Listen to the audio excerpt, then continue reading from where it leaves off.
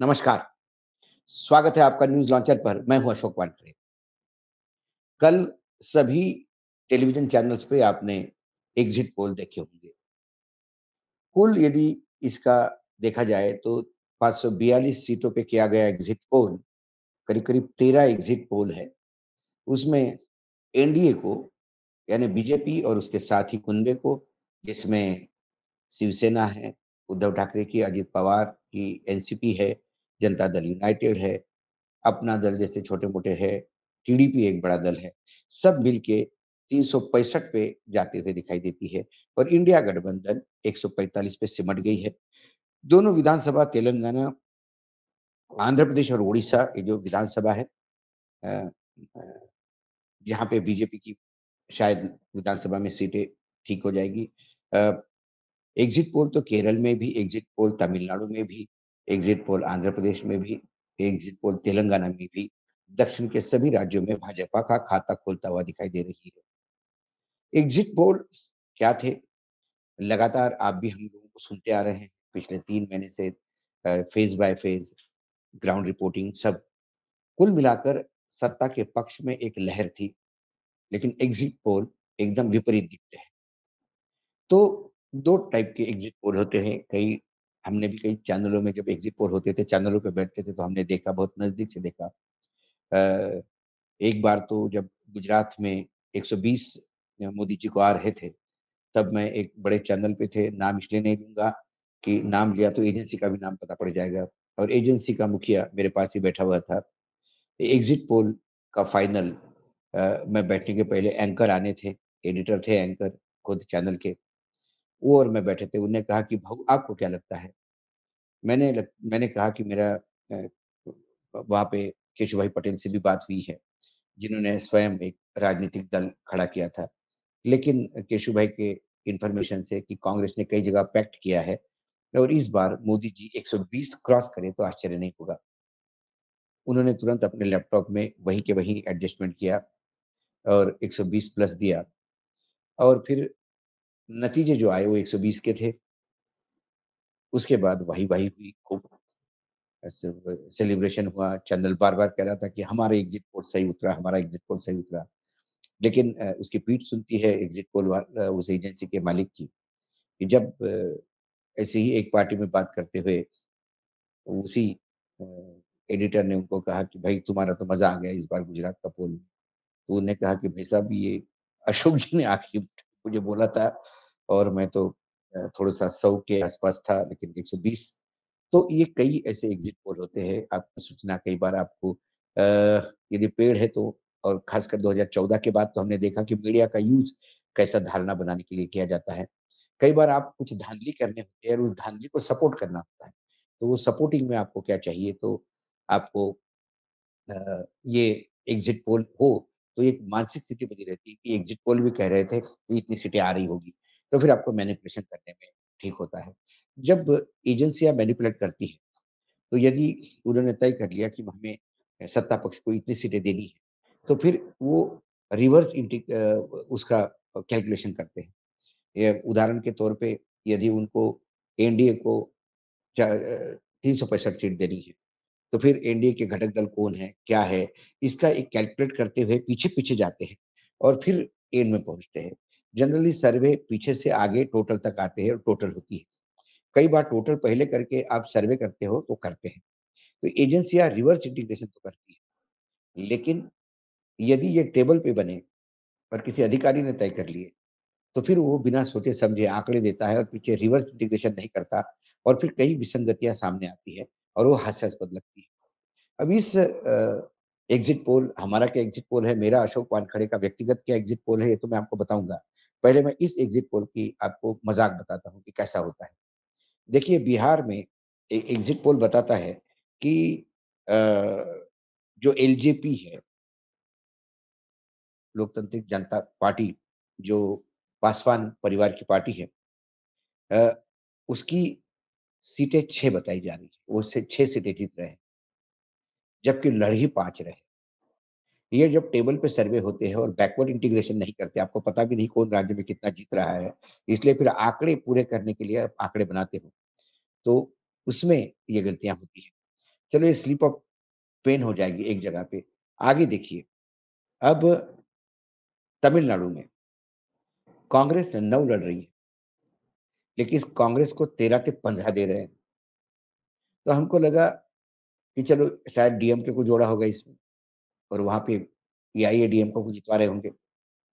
लेकिन डीएमके को भी अलग से 20 से 22 सीटें दे रहे। और कांग्रेस को 13 से 15 दे रहे हैं, जबकि कांग्रेस नौ लड़ी। अब नौ में से 13 कैसे सीटें जीत सकते हैं, पाँच में से छह कैसे जीत सकते हैं, ये तो सिर्फ़ उसी सज्जन को जाना जाता है। कहते हैं कि चर्चा है कि पीएम उसे बन के आया।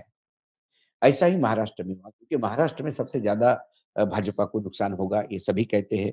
इवन ये गोदी एग्ज़िट पोल भी कहीं न कहीं उनको 20 सीटों का वहाँ पे नुकसान बताते हैं। लेकिन उस मेरे हिसाब से तो वहाँ 30 सीटों का नुकसान होना चाहिए, लेकिन ये 20 करते समय भी कैसी धांधली होती है, देखिए। महाराष्ट्र में जो सीटें हैं 48, तो इंडिया गठबंधन में कांग्रेस ने 17 लड़ी, शिवसेना ने 21 लड़ी और शरद पवार ने 10 लड़ी। शिवसेना ने 21 अब दूसरी साइड पे यदि हम बात करें, तो वहाँ पे अजित पवार ने चार लड़ी, एकनाथ शिंदे ने 15 लड़ी। अब बाकी बची हुई 26 सीटें, वो बीजेपी लड़ी। बीजेपी 26 और चार एजीपी 30 हो गई। बीजेपी 29 लड़ी, सॉरी माफ़ कीजिएगा थोड़ा कैलकुलेशन गड़बड़ नहीं होना चाहिए। बीजेपी 29 लड़ी, चार शरद पवार। अब ये सिनेरियो मैंने बताया, फिर से महाराष्ट्र में बताता हूँ आपको। कांग्रेस 48 सीटें हैं, कांग्रेस 70 17 लड़ी, उद्धव ठाकरे 21 लड़े और शरद पवार 10 लड़े। ये 48 हो गए। दूसरी तरफ़ उनके खिलाफ एनडीए गठबंधन लड़ा, जिसमें अजित पवार चार लड़े, एक नाथ शिंदे 15 लड़े और 29 सीटें जो जो है, वो बीजेपी लड़ी। अब एग्ज़िट पोल क्या बताते हैं? एग्ज़िट पोल ये बताते हैं कि उद्धव ने 14 सीटें जीती और एक नाथ शिंदे भी 8 से 10 सीटें जीत रहे हैं। मतलब एकनाथ शिंदे 15 लड़ रहे हैं, उसमें से आठ से 10 हम कंज़र्वेटिव आंकड़ा आठ भी पकड़ लें तो नौ सीटें वो हार रहे हैं। कौन? एक नाथ शिंदे। एक नाथ शिंदे 15 लड़ रहे हैं, उसमें से नौ हार रहे हैं, आठ जीत रहे हैं। लेकिन एक नाथ शिंदे जो 15 लड़ रहे हैं, उसमें 13 वो उद्धव के खिलाफ लड़ रहे। मतलब यदि उन्होंने नौ सीटें जीती तो कम से कम सात सीटें जो है वो उद्धव के खिलाफ लड़ रहे हैं। 13 सीटें जो सात सीटें वो है जो उद्धव के खिलाफ वो जीते। अब गणित देखिए, उद्धव को भी ये 14 सीटें दे रहे हैं 21 में से। और 7 सीटें उद्धव हार रहे हैं इनके सामने। तो ये आंकड़ा कैलकुलेशन कैसा बैठता है? यदि 10 सीटें जीत रहे हैं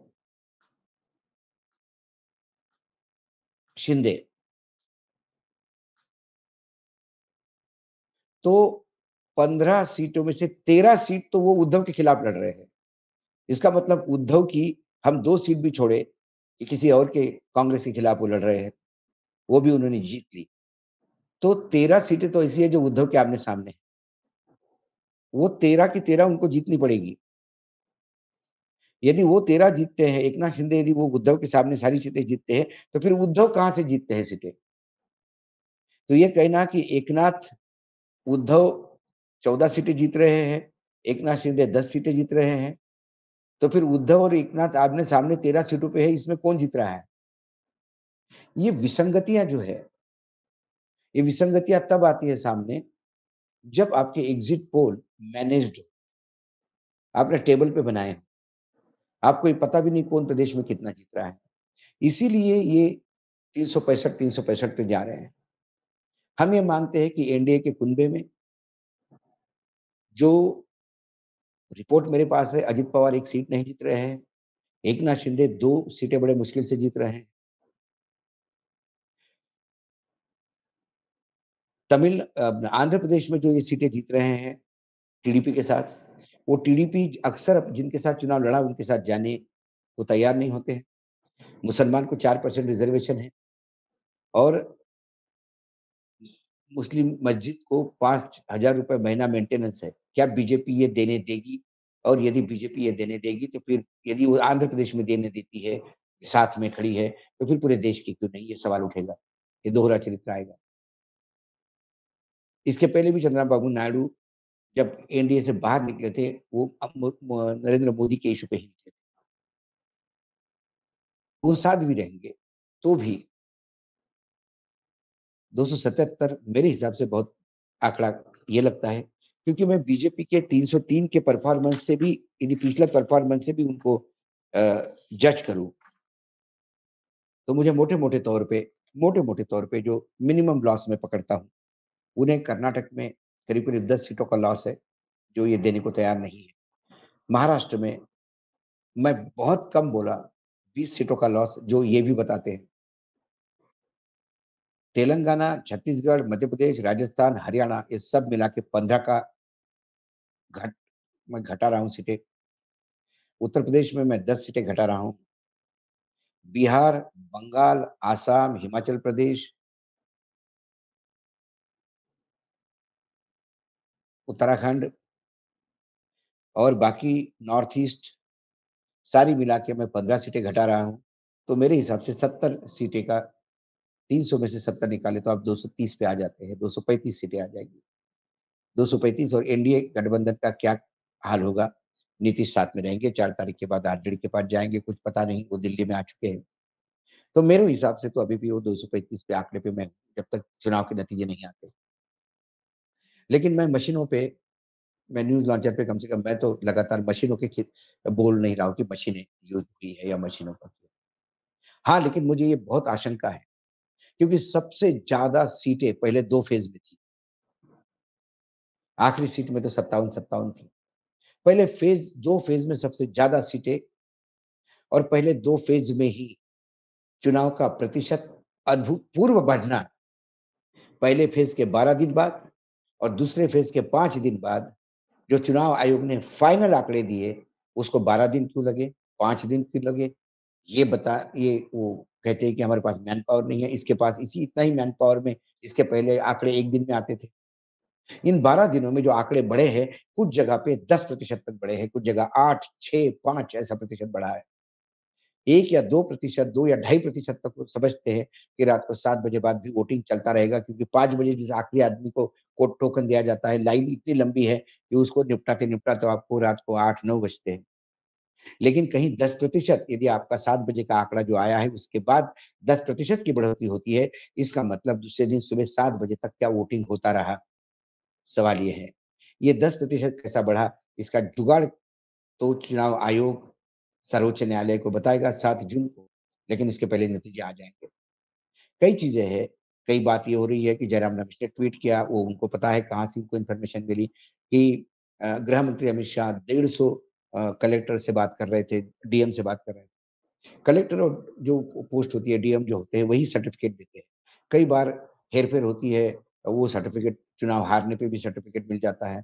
वो यदि दबंग आदमी हो तो, वो बताता है कि ये हार-जीत यदि कम मार्जिन की हो दो हज़ार तीन हज़ार की तो उसमें खेल हो जाते हैं कि नहीं ये जीत गए, ये रिजेक्ट हो गए। फिर उसके बाद आप कोर्ट जाते रहो और कोर्ट में होते रहे। कई जगह ये भी जुगाड़ किया जाता है कि रूल ये है, कानून ये है कि पहले पोस्टल बैरल ब ब बैलेट काउंट होते हैं और उसके बाद चुनावी मशीनें। लेकिन कई बार चालाकी से ये क्या करते हैं, पोस्टल बैलेट का एक बंडल गिनते हैं। एक बंडल गिनने के बाद फिर मशीनें शुरू करते हैं। और फिर सब मशीनें खत्म होने के बाद फिर पोस्टल बैलेट निकलता है, जहाँ 1000, 1200, 2000 तक की हार-जीत है, वो पोस्टल बैलेट में उलट-फेर हो जाता है। ऐसा केस गुजरात के हाईकोर्ट में भी आया था, जहाँ हाईकोर्ट के एक जज मुझे मिले और उन्होंने बताया कि फिर मैंने जब उनको कहा कि जब पोस्टल बैलेट आपने पूरे क्यों गिनाए नहीं? तो उन्होंने कहा कि सर कानून ये है कि शुरुआत पोस्टल बैलेट से होनी चाहिए। ये नहीं लिखा है कि पोस्टल बैलेट खत्म होने के बाद ही मशीन हो। तो ये बिटवीन द लाइन्स खेला जाता है। इस बार सुनने में ये भी आया है कि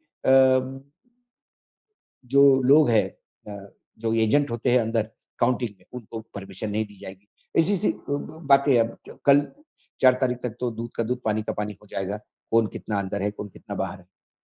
तो चुनाव के नतीजे आने के बाद भी मैं कम से कम 235 पे टिका हूँ और फिर यदि चुनाव के नतीजे ऐसे आते तो मैं मशीन को नहीं बोलूँगा लेकिन फिर ये मैनिपुलेशन जो होते परसेंटेज बढ़ा, फिर सीट वाइज़ बात करनी होगी, किस कॉन्स्टिट्यूएंसी में कितना परसेंटेज बढ़ा और वहाँ बीजेपी को कितनी बढ़त मिली। ये भी देखना होगा। उदाहरण के तौर पे महाराष्ट्र के एक चंद्रपुर डिस्ट्रिक्ट है जहाँ 2019 में कांग्रेस को एक ही 48 में से सीट मिली थी महाराष्ट्र में और वो चंद्रपुर की थी, बालू धानोरकर की। बालू धानोरकर की दुर्भाग्यपूर्ण मौत मृत्यु हो गई।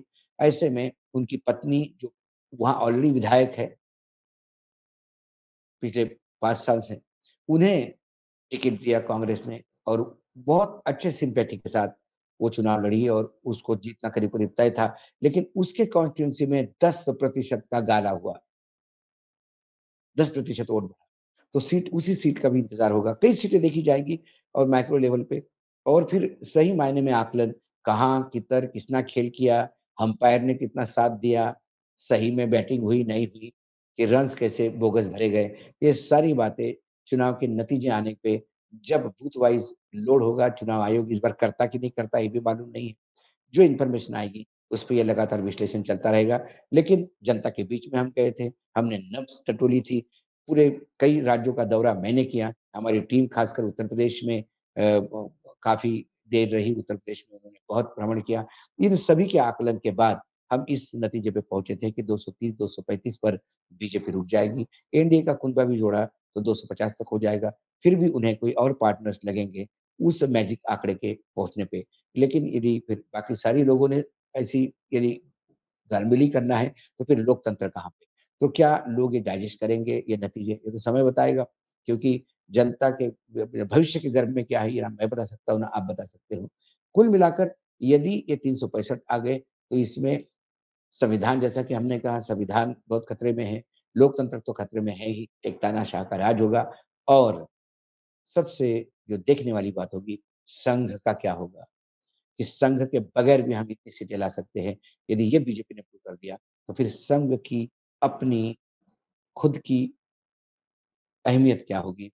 संघ अपने वजूद को बचा पाएगा, नहीं बचा पाएगा? सवाल यह है, या संघ पूर्ण रूप से सरेंडर होगा, अगला सरसंघ चालक क्या मोदी जी तय करेंगे? ये भी देखने वाली बात होगी। कई चीज़ें हैं, भाजपा में भी बहुत सारी चीज़ें होगी। दूसरी तरफ़ विपक्ष भी इसके बाद एकदम नाउम्मीद होके घर बैठता है, यदि नतीजे विपरीत आए तो। नतीजे यदि जो चाहे वो आए, तो बात ही अलग है। यदि विपरीत आए, तो भी फिर क्या करेगा? इस चुनाव में एक बात बार-बार हम कह रहे थे कि सबसे बड़ा दल, राजनीतिक दल चुनाव में बीजेपी रहेगा, इसमें कोई डाउट नहीं है। कांग्रेस 100 तक पहुँचता कि नहीं पहुँचता, ये देखना है। क्योंकि खासकर कुछ काउ बेल्ट में जहाँ आमने-सामने कांग्रेस और बीजेपी है, वहाँ यदि बीजेपी को ज़्यादा नुकसान हुआ, तो फिर कांग्रेस की बढ़त है। नहीं तो कर्नाटक, तेलंगाना, छत्तीसगढ़, मध्य प्रदेश, राजस्थान, हिमाचल उत्तराखंड ये राज्य है हरियाणा ये राज्य है, जहाँ बीजेपी का घट ये कांग्रेस की बढ़त होगी।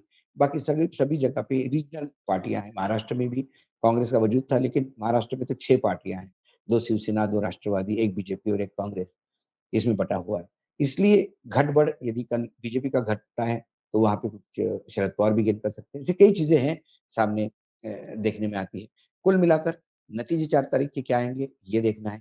लेकिन मेरा एग्ज़िट पोल तो मैंने आपको बता दिया, बाकी एग्ज़िट पोल की कैसी पोल खुलती है, कैसा जितने लड़ी नहीं उससे ज़्यादा सीटें दी जाती है और जितने आमने-सामने लड़ रहे हैं, यदि दोनों को ही ज़्यादा सीटें दी, तो फिर दोनों कहाँ लड़े?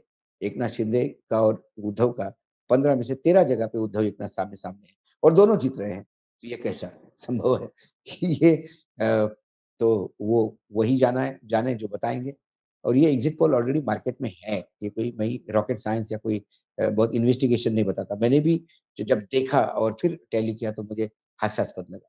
आज इतना ही, कल फिर आता हूँ किसी विषय के साथ, तब तक के लिए देखते रहिएगा न्यूज़ लॉन्चर। नमस्कार।